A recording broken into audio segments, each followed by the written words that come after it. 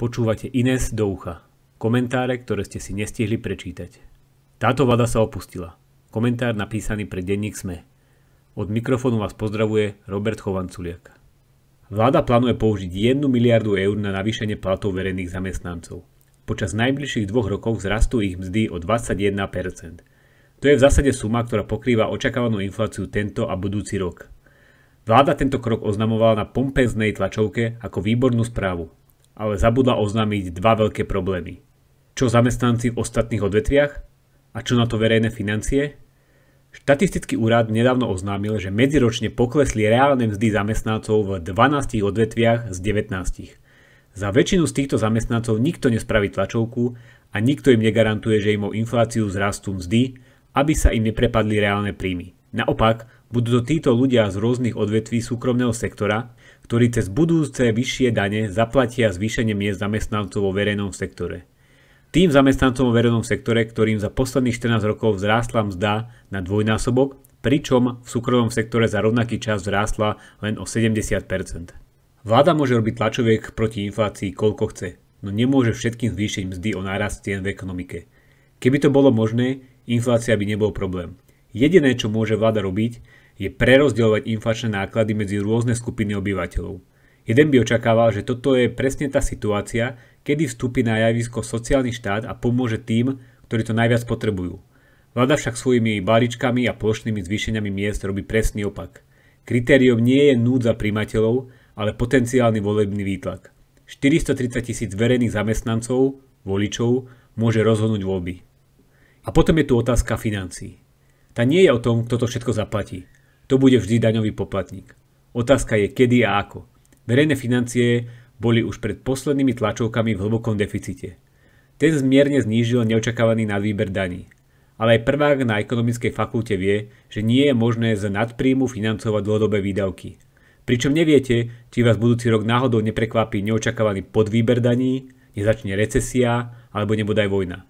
Čo však viete je, že budete musieť valorizovať dôchodky a dávky a že už teraz rastú úroky na dlhopisoch, čo znamená, že zadlžovanie bude drahšie. A to všetko v situácii, keď nám medzinárodné organizácie odkazujú, že máme druhú najhoršiu udržateľnosť verejných financií v Európskej únii.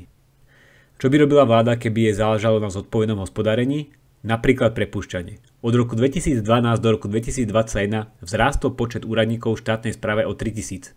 Tu sa nerozprávame o učiteľoch, sestričkách a lekároch, ale o skutočných úradníkoch, ktorí šermujú pečiatkami a prekladajú papiere. A pritom v roku 2012 sme nemali nejakú štíhlu štátnu správu, kde nebolo koho prepustiť. Veď to bol rok, kedy sa spúšťala slávna reforma ESO. Efektívna, spolahlivá a otvorená verejná správa.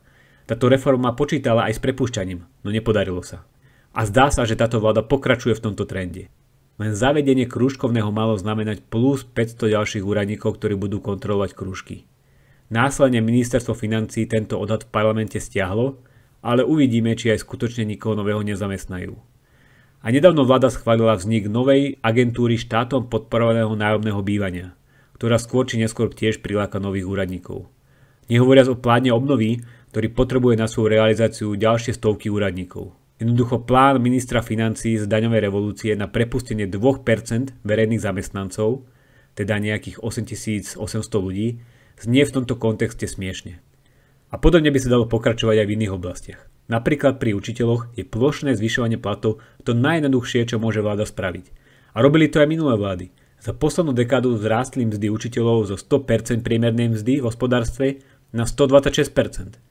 Skutočné riešenie je však zložitejšie a vyžaduje vyriešiť otázku regionalizácie miest, odmeňovania podľa dopytu po predmetoch, či nebude aj na základe kvality.